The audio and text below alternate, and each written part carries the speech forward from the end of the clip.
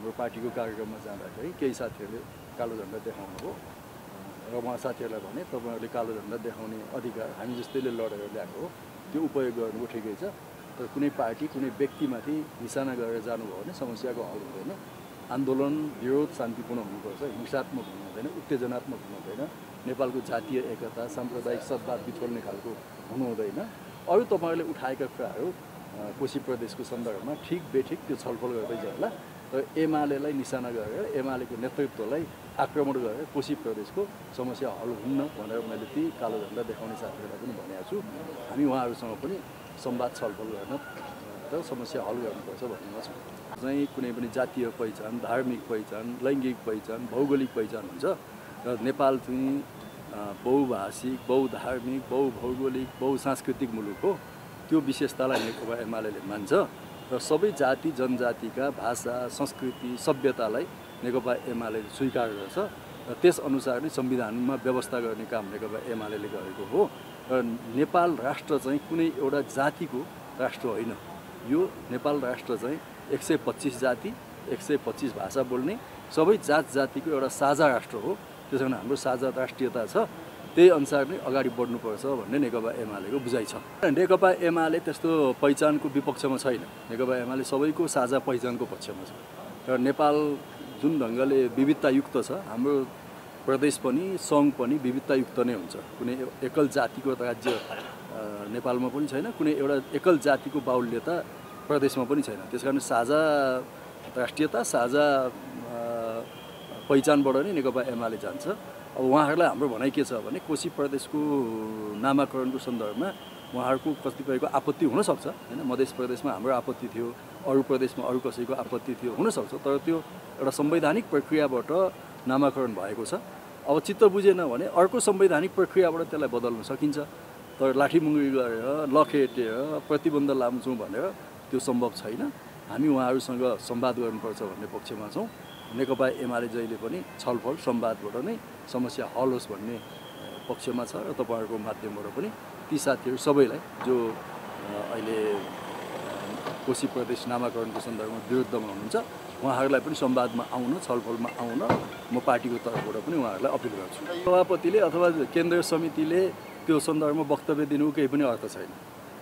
कोशी प्रदेशमा प्रदेश सभामा रहेका नेपाली काङ्ग्रेसका उन्तिसजना सांसद हुनुहुन्छ क्या माओवादीका बाह्र तेह्रजना कति हुनुहुन्छ? अब उहाँहरूले नै नाम बदल्नका निम्ति कोशी प्रदेश सभामा प्रस्ताव ल्याउनु भयो भने त्यसको अर्थ छ बाहिर बाहिर वक्तव्य दिने कुराको केही पनि अर्थ छैन एकातिर हामीसँग बसेर एउटा निर्णय गर्ने बाहिरतिर गएर चाहिँ अर्को कुरा चाहिँ भन्दै हिँड्ने त्यो दोहोरो चरित्र उहाँहरूले देखाउनु भएको छ। नेकपा एमाले त्यस्तो दोहोरो चरित्रको पक्षमा छैन। नेकपा एमाले जे हो हो त्यो भन्छ। त्यसमा गल्ती भएछ भने छलफल गरेर सच्याउ समस्या चाहिँ के हो भने अब कोशी मात्रै भनेर या यथास्थितिमै अगाडि जाँदा ठुलो पङ्क्ति। अहिले कुनै पार्टी विशेष मात्रै भन्दा एमाले भित्रकै पहिचानका पक्षधरहरू पनि आन्दोलनमै गएको देखियो नि।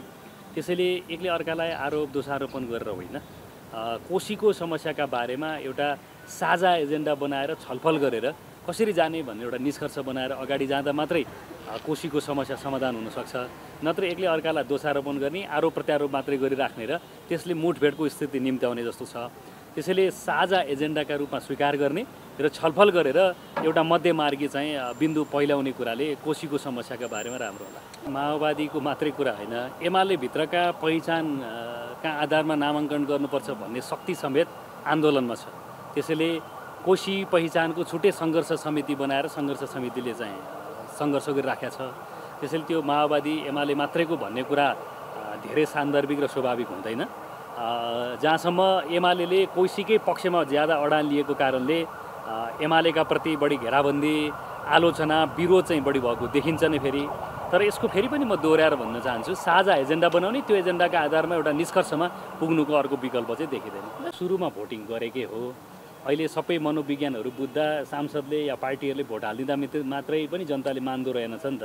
त्यसैले बहुसङ्ख्यक जनताहरूको धारणा र बुझाइ के भयो भने कोशी नामाङ्कन जे गरियो त्यसमा पुनरावलोकन पुनर्विचार गर्नुपर्छ भन्ने नै देख्यो। त्यसरी हेर्दाखेरि विगतमा केही त्रुटिहरू भएका रहेछन् भने पनि समीक्षा गरेर बहुसङ्ख्यक जनताको भावनाको चाहिँ प्रतिनिधित्व र कदर गरेर जाने गरी सोच्नुपर्छ। हामी जनताको अस्तित्व पनि देखिने पहिचान पनि भेटिने खालको कुरा गर्छौँ। पहिचान भनेको एउटा जात धर्म सम्प्रदायलाई मात्र हामी लिँदैनौँ त्यसको सांस्कृतिक सभ्यतालाई पनि लिन सक्छौँ। हामी यो विषयमा यो पहिचानधारी पक्षसँग गम्भीर छलफल गरेर सहमतिमा एउटा बाटोमा गएर त्यसलाई निरूपण गर्न चाहन्छौँ। नेपाली काङ्ग्रेस नै यस्तो पार्टी हो। जुन पार्टीले सबै जात वर्ग धर्म सम्प्रदायको प्रतित्व देशमा समानुपातिक पद्धति अनुसार हुन्छ भनेर संसदबाट संविधान पनि जारी गर्यो र त्यो अनुसार पार्टीभित्र पनि र अन्य ठाउँमा पनि प्रतित्व गराएको छ। त्यसैले हामीले कुनै जात वर्ग धर्म सम्प्रदायलाई बाइपास गरेर जाने नेपाली काङ्ग्रेस चाहना छैन।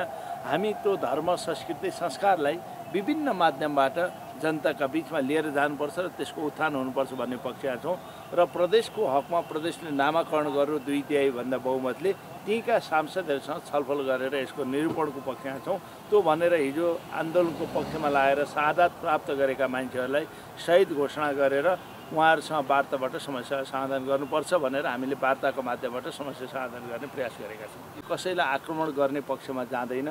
त्यसमा पनि नेपाली काङ्ग्रेसलाई कसैलाई यो हिंसक तरिकाले आक्रमणको माध्यमबाट समस्याको समाधान हुन्छ भन्ने पक्षमा नेपाली काङ्ग्रेस छैन।